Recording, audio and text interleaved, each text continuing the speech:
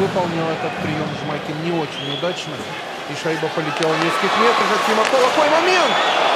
Вот так вот. Атаковали наши, атаковали. А тут едва Антипов не забил э, гол.